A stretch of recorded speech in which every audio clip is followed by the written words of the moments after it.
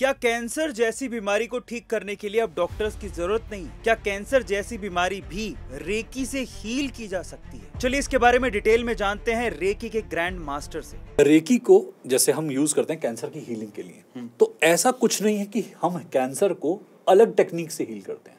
हालाँकि हमारे पास बहुत बहुत टेक्निक्स हैं। Music therapy sound therapy psychic surgery reiki healing Lama Fera pranic healing इतने सारे टूल्स हैं जिसमें कि हम अगर कोई भी इस्तेमाल करेंगे हंड्रेड परसेंट क्योर होता है। बट पहला सिस्टम है सर बिलीफ अगर कैंसर पेशेंट का बिलीफ सिस्टम ही खराब है तो उसी कारण से तो कैंसर आया है। दबी हुई संवेदना दबी हुई इच्छा ही अंदर के लिए हानिकारक होती है। इसे ठीक करने के लिए किसी हीलिंग को बहुत प्रचंड प्रचंड लेवल तक प्रकांड लेवल तक सीखने की ज़रूरत नहीं है। कि ग्रैंड मास्टर बनोगे तभी हीलिंग कर पाओगे। छोटा चार साल का बच्चा भी हीलर होता है। ओ। मैंने चार साल के बच्चे को अट्यूनमेंट दिया था। माता के गर्भ में बच्चा था तब अट्यूनमेंट लिया था माता ने भी बच्चे ने भी। और जब वो पैदा होके आया ना आज भी उसकी एनर्जी जो हाथों पे आती है ना मेरे गजब एनर्जी है। ये कोई ऐसी विद्या नहीं है कि इसके लिए बॉडी का रेशो होना ज़रूरी है। सर हो सकता है कोई दिखने में बहुत बड़ा हो पर उसका और ना उसकी उम्र से भी बहुत बड़ा हो। छोटे छोटे गुरु होते हैं गुरुकुल के अंदर। आप देखेंगे कि इतना बड़ा गुरु जी का और नहीं होता बड़े गुरु जी का। जितना छोटे से बच्चे का होता है। वो एक बार आके सर पे हाथ फेर देते हैं। आँसू रुकते नहीं आँखों में से। ऊर्जा ना शरीर की कभी एक कंपोनेंट की महताज नहीं होती। कि शरीर होगा तो मोहताज बनी हुई है कि ऊर्जा होगी।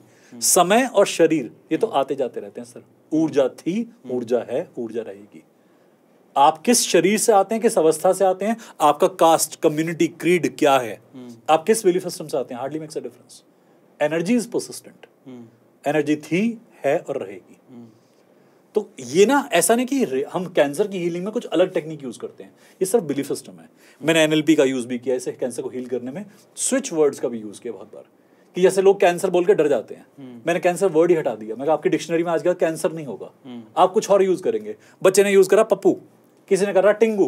किसी ने यूज़ करा टॉमी तो मुझे टॉमी हो गया।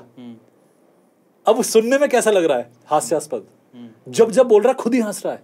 एंडोर्फिन रिलीज़ हो रहे हैं। हैप्पी हार्मोन्स रिलीज़ हो रहे हैं। कैंसर के चक्कर में नेगेटिविटी आ रही थी। अब उसने ऐसा मेथड कॉइन कर लिया। हैप्पी हॉर्मोन्स हो रहे हैं। हर बार हंस रहा है।